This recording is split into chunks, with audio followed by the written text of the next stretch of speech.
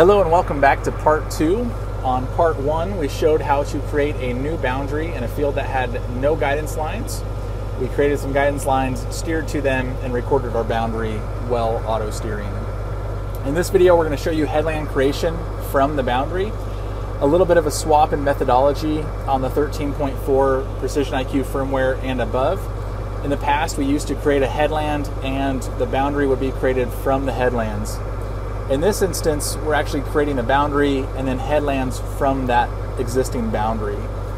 So since I have a boundary created from our last video, I'm going to go into specialty guidance, tap on the headland creation, and I'm going to choose the boundary that we just created. And I'm going to tap on generate headlands.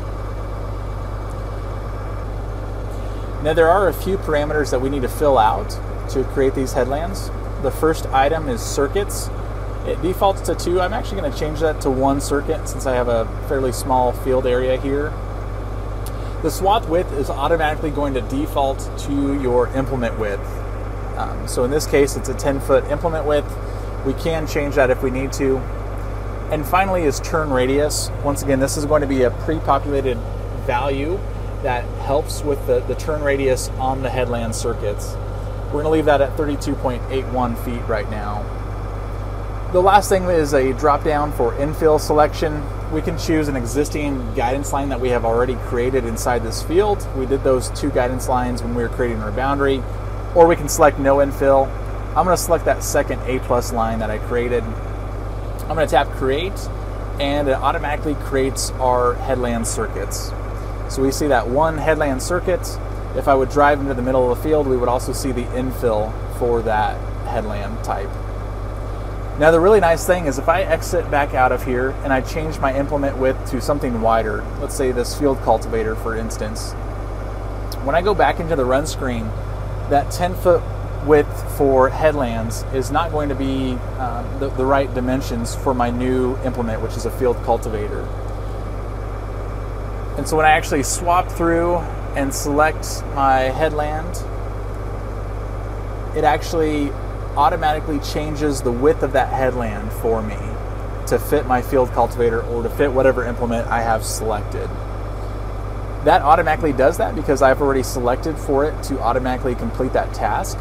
Once again, if you go into the guidance editor settings, um, you'll see down here at the bottom, I have the auto adjust inner boundary turned on currently. So it doesn't even notify me anymore. It just automatically goes to adjusting that headland for whatever implement type I have. If you don't want that to be automatic, you can turn that slider off.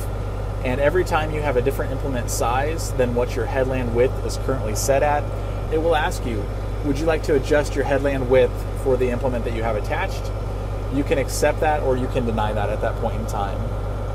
Really nice feature, makes it really nice to have just, in this case, one headland with, if you wanted a, a single circuit headland, you just have to have one headland guidance type and it will adjust for every implement in your fleet.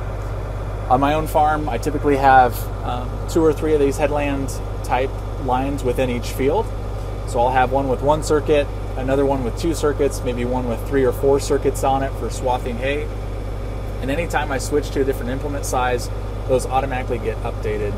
Where in the past, we would have to have a, a different headland path for each number of circuits we wanted and for each implement that we were going to use on that headland. Makes it really nice and easy and simple. Hopefully that makes sense. In the future videos, we're going to talk about freeform guidance, but that wraps it up for the initial boundary and headland pass.